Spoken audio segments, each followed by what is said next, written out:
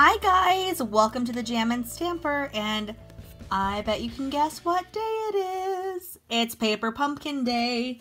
I would have filmed this yesterday, but my Paper Pumpkin came super late, um, so I didn't get a chance to film it. But I hope you enjoy this video, so I'm just going to start uh, show you everything. So here is our kit. This is what it what our cards are going to look like today.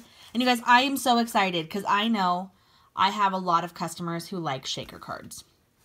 Um, I love shaker cards, and that is what we're making today. And they are super simple. So I am excited to do this with you. And I have a confession to make. I actually did most of them, but I'm going to do one with you, and I'm going to show you what they look like, okay? So we're just going to start. Uh, let me show you what our stamp set looks like, okay? This is our stamp set. And I actually love this because there's three thank yous on it. I often need a thank you card often often. So there's three basically that are thank yous on here, which that makes me so happy. Um, and this is actually the main one we're going to be working with right here. It, it's like a marbling. Um, it looks really cool. Um, and we're going to use the thanks to you. So let's just get started right away, okay? So the first thing we're going to do is punch out a couple things and stamp them. Okay, so yeah, you can see I've done a lot of punching already. Okay, so we're going to punch out. This is our banner. Punch that out first. My trash can's making a, a shadow. Sorry, guys. Okay. This is going to go behind our banner. Pop that out. Okay, and then we have three different colored squares. There is, this is kind of, um, that kind of reminds me of pumpkin, uh, pumpkin pie. Um, there is this one that's kind of a rusty color. Oops. A rusty color right there. Okay. And this is kind of a mustardy color right here. Right, okay. So first thing we're to do is actually on the three squares, we are to stamp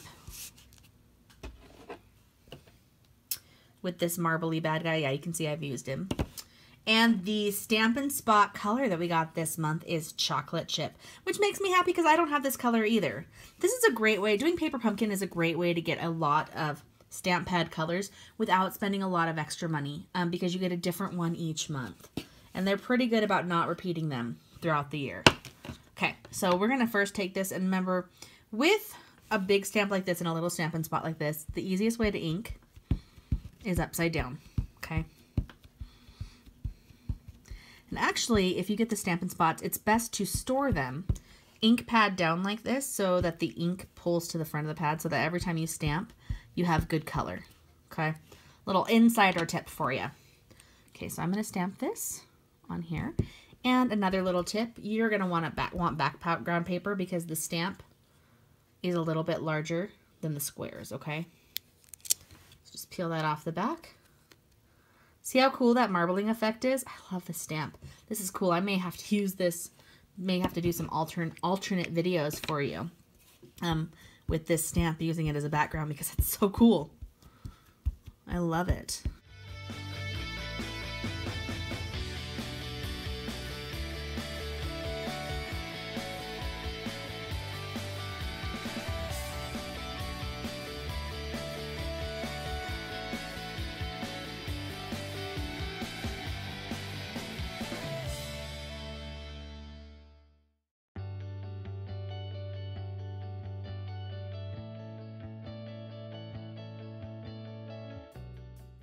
To you, okay?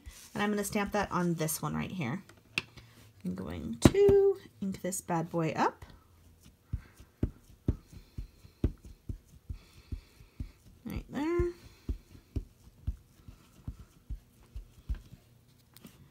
Okay. Sorry, I don't know why that is in my head today. Okay, thanks to you. Well, you know, I stamped it a little high. I'm going to do it again. Just flip it over and do it again. This one has the same color on both sides, which is nice. So, you know, every piece of paper has two sides. I say that to you often because I often make mistakes, but that's okay. We can correct those mistakes. Okay, so I'm going to lower it a little bit. A little lower. That looks better. Okay, So now we are done stamping for this card, okay? The next thing we're going to do, I'm just going to move these out of the way for now. Um, the next thing we're going to do is we're going to attach these to our card front. So here is our card front. Kind of reminds me of the color Crumb Cake. I'm not exactly sure what color it is. Um, you do know Paper Pumpkin comes with adhesives, okay? It comes with these glue dots.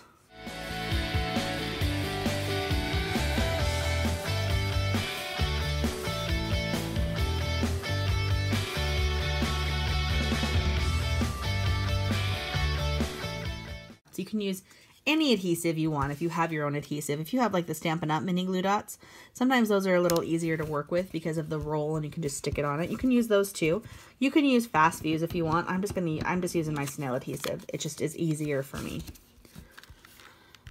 Okay, so I am just um, lining up the colors the way I want.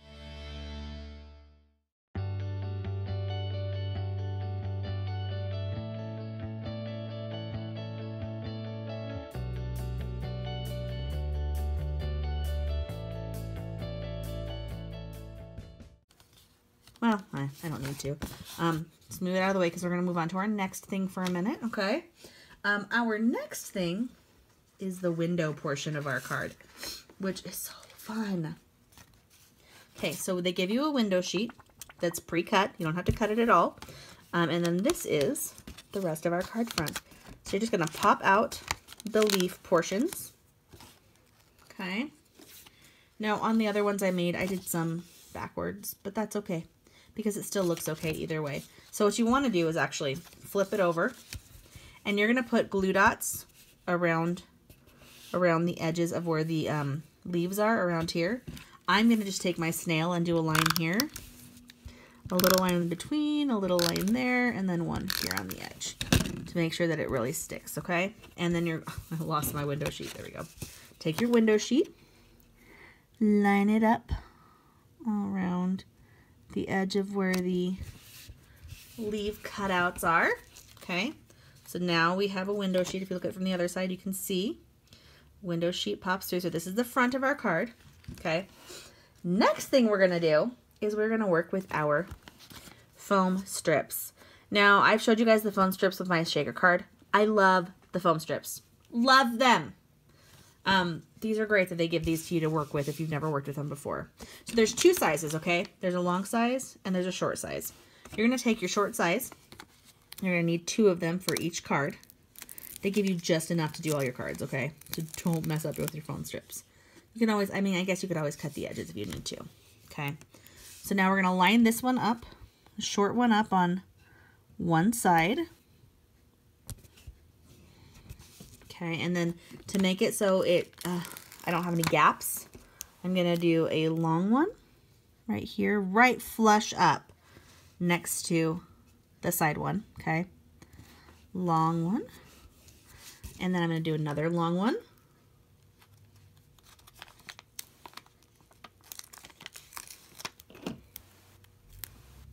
Right above the leaves. Okay. And if they move a little, that's fine. They don't have to be perfectly straight because no one's going to actually see them. And then the other long one on the top of this card, or on the top of the back of this card right here. Okay, another long one. And then our other short one. Just going to flush it up right here on the side. Make sure it's flush against the shaker portion is more important than this top one. So if it's not perfect up here, that's okay. But you want to make sure it's flush all the way around here so that when you're shaking your card, sequins don't fall out. Okay? Okay, so we're going to set that aside for just a second. Just going to move that over there for a second. Okay, now they give you three bags of sequins.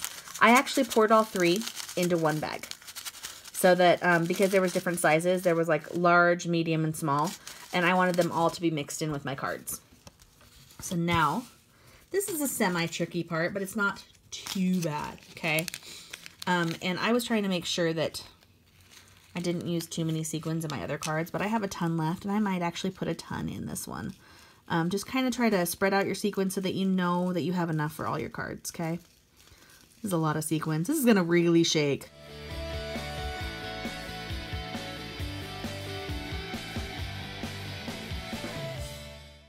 Closer together. Just want to use all my sequins. I don't want to waste anything. Are you like me, that you don't like to waste things? Okay.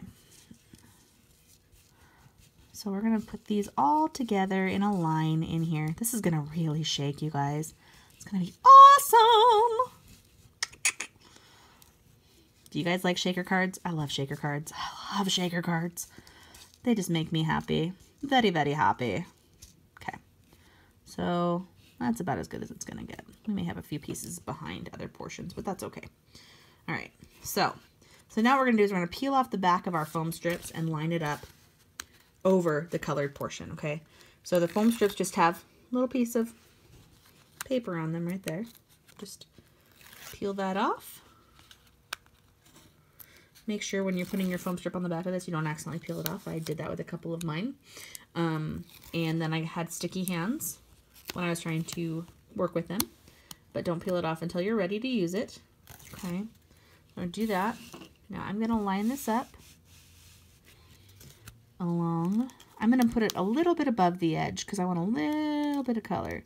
And you'll actually see the static start attaching to the window cling. Oh my gosh. Yeah, you guys, this one really... I'm sorry, I don't mean to laugh like that, but I put a ton of sequins in this card. Oh my gosh, look how pretty, though. Look how pretty that is. guys, I hope you like it. Okay, next thing we're working with is our twine. It says about 12 inches. Um, I, I kind of eyeballed it with the past couple of them. Okay, just about 12 inches. And chop it off there. Okay, and then we're going to take this. We're almost done with our card, guys, by the way. Um, I'm going to take this and wrap it around the end of this banner portion. And I, to make it easy for me, I tie a double knot. So I did with all my other ones.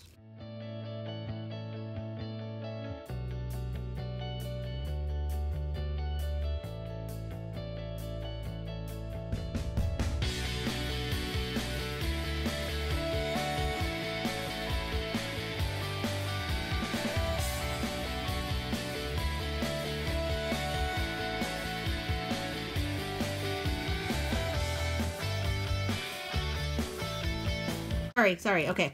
So now we're going to take and we're going to attach the thanks to this. So I'm going to, you can use the glue dots again um, that come with it. They are, they work. Um, I'm just going to do a line of my snail along the back of this. I'm sorry if we got extreme close up now. And I kind of slide this under the edge here so that the bow is kind of tied on the whole thing. Okay. And then we're almost done. We're going to attach it to her card and then we'll be done. So I'm also going to take my snail and I'm going to take three small strips. Um, because this is kind of textured, you want to make sure it really sticks to it. Um, I'd put the glue dots if you're going to use them around the edges. And I actually am going to try to put snail there over my twine to hold my twine in place. And then it will stick better for me. Okay. And then, thanks to you. There is, I'm going to move my camera back a little. There is our cute little card with a ton of stuff in it. Oh, and they come with envelopes. Let me show you the envelopes. I forgot about that. Come with this fun envelope. And look at how it looks quilted inside. You guys see how fun that is? Look at that. That is so cool. Okay. Yeah, I love this card. Um, I hope you guys love this card too. I hope you had fun watching me make it. Have a good day, you guys. Bye.